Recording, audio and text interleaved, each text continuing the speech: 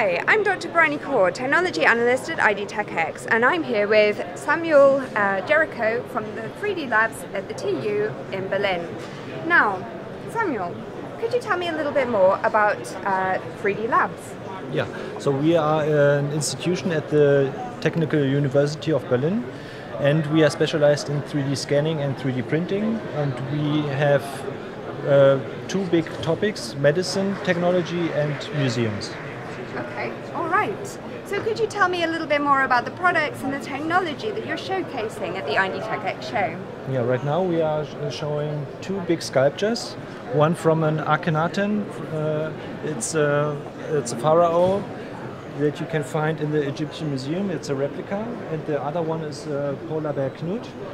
Uh, that, um, that was a famous bear in 2011 and this is a replica based on CT scans and we both uh, printed them with a plastic uh, plaster printer in gypsum. And yeah um, we also have other technologies um, plastic printer. Um, okay.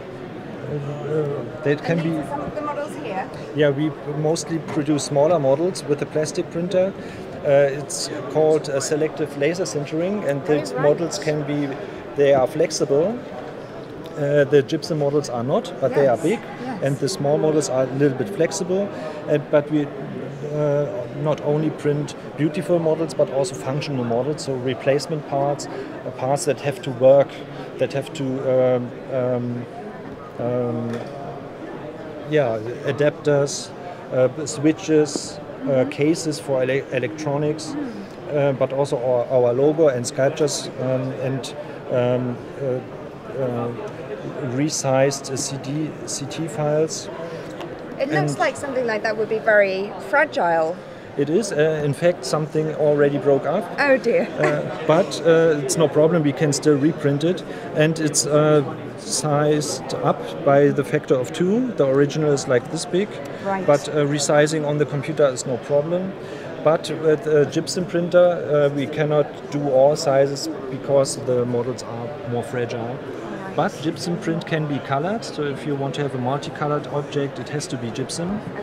And yeah, so we um, are very um, diverse in what we do. It's uh, technical and cultural. Uh, so serious and fun objects are possible with us. And yeah, we work together with museums and, uh, for example, um, institutions like the German Heart Center. Mm -hmm. But actually, everyone can come with a 3D file to print. Okay, all right. So do you think museums would be the primary beneficiary of this technology?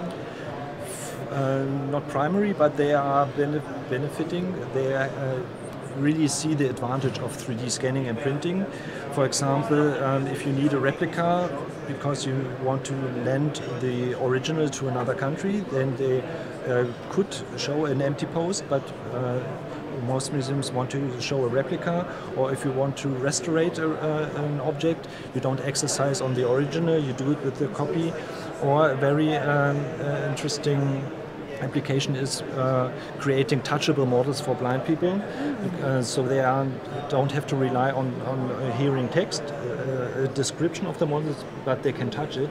And there, uh, resizing a model that makes sense. But, um, seeing people would uh, go closer to see an object um, more in more detail, but blind people cannot do it.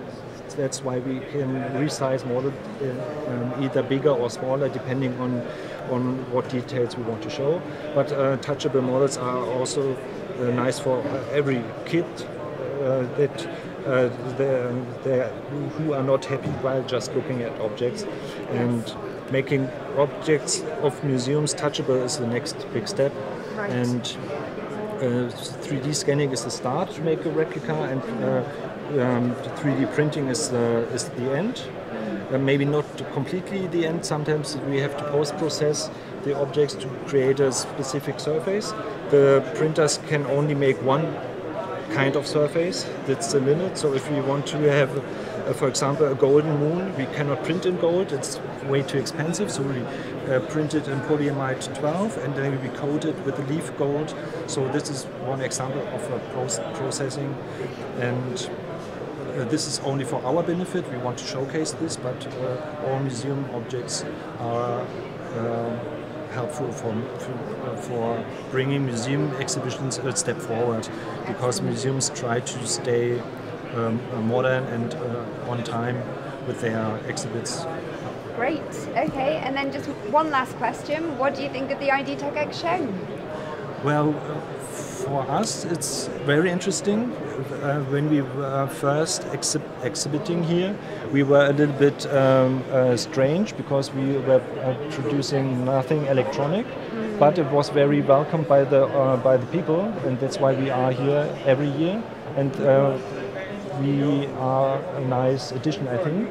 And uh, when we take a break and look through all the other technologies, we also, we, of course, we learn stuff because it's not our it's not our topic, and we find um, every time we find a connection between two different technologies, ours and the other, where there are potential um, steps for the future.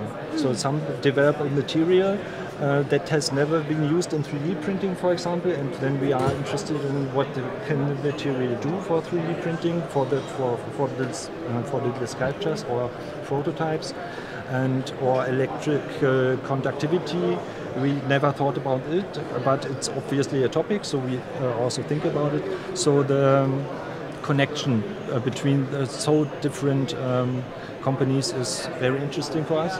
And also talking with people some come and don't know jack about 3d printing. That's interesting. And some people know everything. And mm. still we can uh, tell about uh, uh, um, as you as you realize now i can i cannot stop talking. So it's such a fair is very interesting for us. And we are happy to come back next year. Well, thank you very much for giving us such a detailed insight into your beautiful models that you've brought along. You're welcome. Thank you.